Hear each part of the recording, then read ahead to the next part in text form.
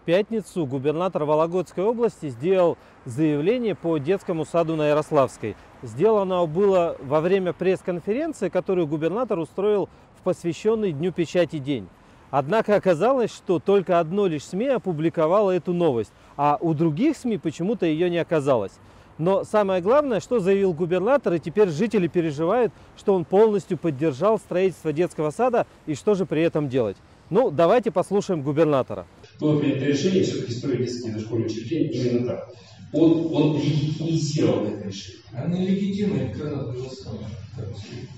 Ну, это, а тогда легитимно ли мой вопрос на градостроительных советах, когда я собираю э, 0,2 населения района, которое эти большинством голосов понимают, что тоже можно поставить под Никто же против садика не голосует против места в саде, а отдельно инфраструктуру нет. Э, Вопрос вот смотри. Губернатор говорит о том, что голосование по садику легитимно, и жители проголосовали большинством, а виноват во всем Воропанов, ну, условно, он должен с этим разбираться. Видите, чем дело? Нет, нет, вопрос не областной. Вопрос это не областной, это вопрос города. Это вопрос города. Да он не будет областным. Не будет он областным, потому что этот вопрос...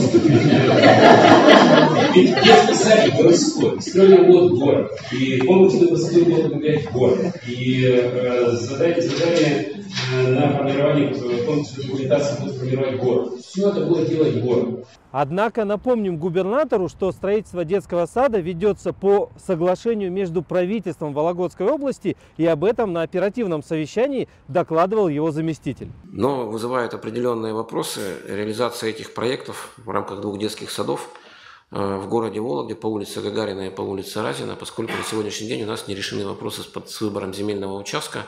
Ну и, соответственно, этот вопрос находится на особом контроле в рамках контроля Департамента образования как города Вологды, так и Департамента образования Вологодской области. Спасибо. И получается, что сейчас нарушается как раз то самое соглашение с Министерством просвещения. И это не может не касаться непосредственно деятельности губернатора. Именно он обязан дать указание мэру Воропанову о том, что мэр должен это соглашение соблюдать и строить детский сад на улице Разина. Но и это еще не все. Вот, например, губернатор сам сомневается в том, что голосование легитимно или нелегитимно. Я считаю, что власть должна быть последовательной при принятии решений. Если власть решение приняла, согласовала э, его с жителями, легитимно, нелегитимно, то надо делать действия последовательно, а не метаться и шаркаться из стороны в сторону. Ну и помимо всего прочего, он нам говорит о том, что никогда не вмешивается в деятельность местной власти и все решения они должны принимать сами. А он якобы никогда такого не делал. И крайне редко, вот я не знаю, кто не вспомнит или нет, я отменял решения, приняли- э, на. Вспомните, хотя бы раз, чтобы я такие решения отменял. Никогда. Однако напомним губернатору, что совершенно недавно он сам отменял стройку в Ковыринском парке. выиграла уже подрядная организация проектная. И благодаря вашим обращениям я заключение контракта остановил. Почему-то, без учета мнений жителей, это было, э, выбрано, было выбрано место э, Ковыринского сада.